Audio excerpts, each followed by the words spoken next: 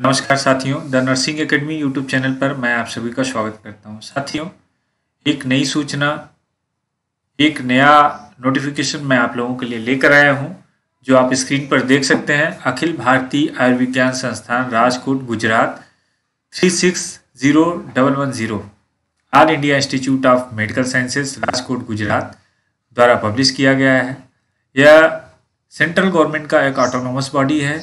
जो P M S S S Y P M S S Y और Ministry of Health and Family Welfare के अंतर्गत आता है। यहाँ पर आप देख सकते हैं गवर्नमेंट ऑफ़ इंडिया इसका वेबसाइट भी यहाँ पर दिया गया है और ये जो लेटर नंबर है, ये रेफरेंस दिया गया है। लास्ट में सेवन टू फाइव सेवन ये लेटर नंबर है सेवन टू फाइव सेवन आप डेट्स देख सकते हैं, सत्ताईस बारह दो हज़ार तेईस को पब्लिश किया गया है। इन्होंने सबसे पहले रेफरेंस दिया है, जो इन्होंने, मैं आपको बता देता हूँ मोटा मोटा कि आखिर यह जो नोटिफिकेशन है, किससे संबंधित है? तो कुछ दिनों पहले, एम्स राजकोट ने विभिन्न पोस्टों के लिए एक नोटिफिकेशन जारी किया था।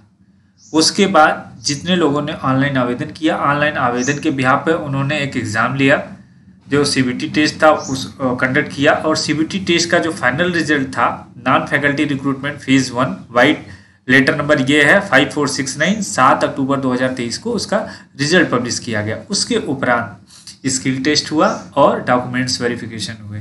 उसके बाद जितने कैंडिडेट्स वहाँ पर डॉक्यूमेंट्स वेरिफिकेशन के लिए आए थे और जो स्किल टेस्ट क्वालिफाई किए थे, उनका जो फाइनल जो सिलेक्शन लिस्ट है, वो यहाँ पर जारी किया गया है।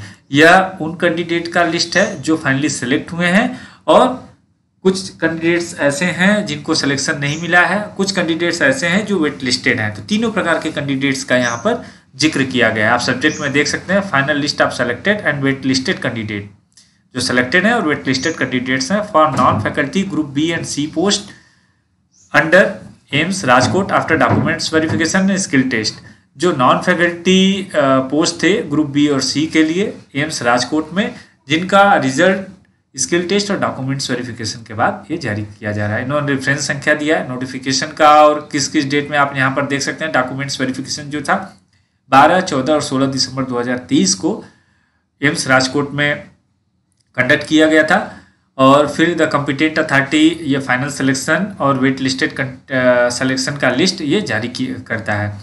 तो आप देखिए यहाँ पर बहुत सारे पोस्ट हैं पहले टेक्नीशियन का है तो जैसा कि मैं स्टाफ नर्स के बारे में बात कर रहा हूँ तो आइए देखते हैं स्टाफ नर्स का। स्टाफ नर्स का थोड़ा सा अंदर है। बहुत सारे पोस्ट है। Junior warden house keeper junior engineer आप देख सकते हैं स्टोर कीपर का है डाइटिशियन का है ऑफ़िस असिस्टेंट का है। और यहाँ पे क्यू नंबर सीरियल नंबर है। आप देख सकते हैं staff nurse grade one nursing sisters चलिए हम देखते हैं टोटल पोस्ट कितने थे। टोटल पोस्ट 58 थे, जिसमें 46 फीमेल्स के लिए थे। 12 जो पोस्ट था, वो मेल के लिए था।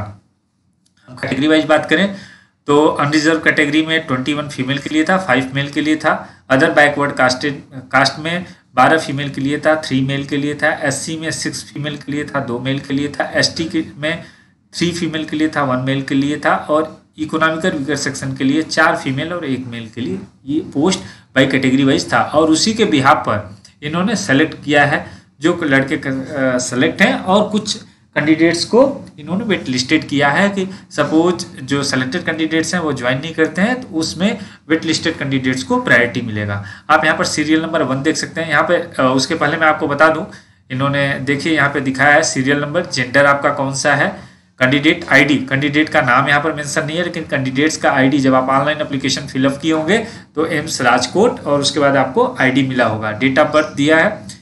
कैटेगरी ऑफ़ सिलेक्शन, किस कैटेगरी में सिलेक्शन हुआ है? स्टेटस यहाँ पर देखिए मेन ये है कि आपका स्टेटस क्या है? क्वालिटी यहाँ पर देखिए फ़र्स्ट सीरियल नंबर है डिसक्वालीफाइड और यहाँ पर रिमार्क्स दिया है। जो डिसक्वालीफाइड है, उनका रिमार्क्स दिया है।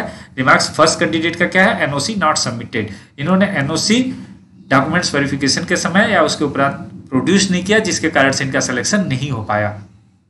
आप उसके बाद देखिए serial number two selected selected जो सेलेक्टेड है, उनका कोई रिमार्क्स नहीं है। इस प्रकार से देख सकते हैं।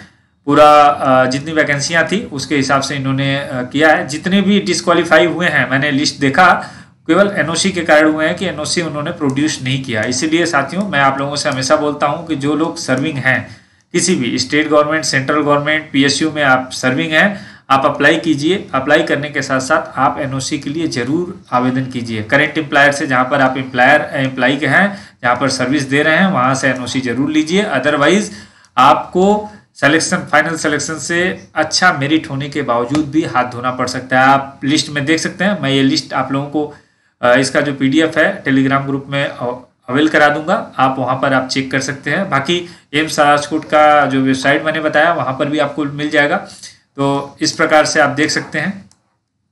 टोटल ये पूरा नर्सिंग अफसर का ही है। ये देखिए वेट लिस्टेड का है डिसक्वालीफाइड यहाँ पर भी देखिए एनओसी नॉट सबमिटेड ये भी नर्सिंग कहीं है, ये भी देखिए स्टाफ नर्स ग्रेड उनका है। ये पूरा, ये भी है कंटिन्यू और यहाँ तक है टोटल टोटल यहाँ तक है। उसके बाद आर जो है अपर डिवीज़न कलर का स्टार्ट होता है तो यहाँ तक ये है। टोटल मैंने आपको दिखा दिया।